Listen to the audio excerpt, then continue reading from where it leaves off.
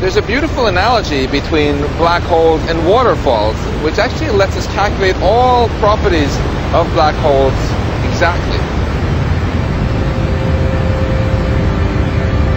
When you approach a waterfall, the river flows faster and faster. When you approach a black hole, it's not the water that flows faster, it's space itself.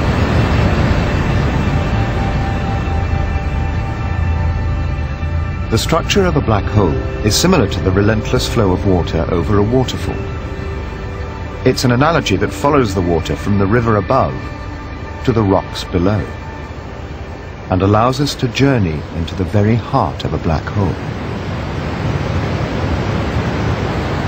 If you're swimming upstream from a waterfall, there is this invisible line where the water flows as fast as you can swim. And if you cross that line, it's the point of no return. You wouldn't feel anything special, but no matter how hard you struggle, you can never escape getting sucked all the way down. For a black hole, the point of no return is called the event horizon. Past it, space is traveling inwards faster than the speed of light.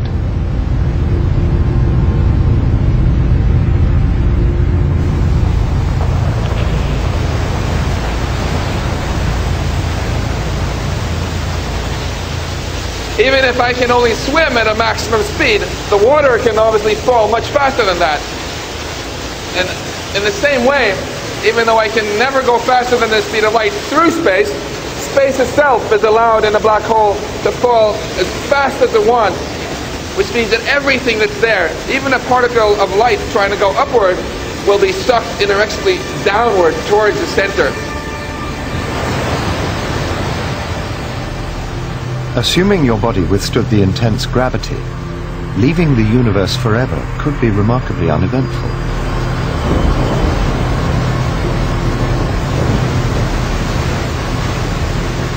People used to think that you would die at the event horizon, but we now understand that for big black holes, it's perfectly possible to still be alive at this stage. You just have no choice but to continue downward. Everything would feel just normal to you. You wouldn't even know necessarily that, you, that you're doomed.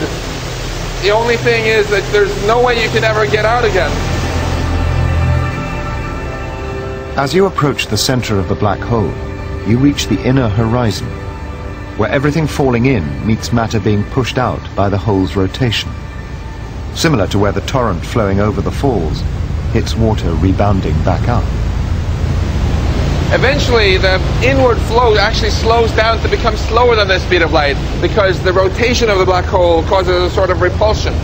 And at that point, you have things colliding together near the speed of light, creating these ridiculously high temperatures, much hotter than inside of a star. So hot that it would vaporize me and any ordinary matter. So that makes an ordinary traffic accident seem really tame in comparison. Now you're being hit by a truck you know, going almost 300,000 kilometers per second. It's not a place where I would want to be. The inner horizon is one of the most extreme environments in the universe.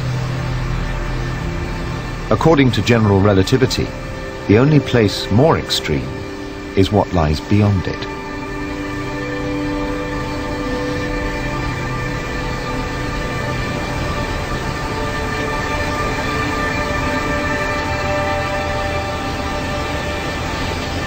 Now let me gather, me gather my thoughts here for a moment.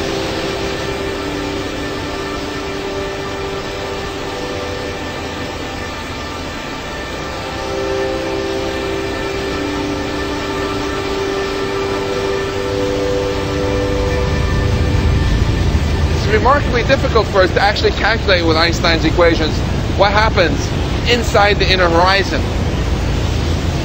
But if I jumped into a black hole, that's probably as far down as I would get.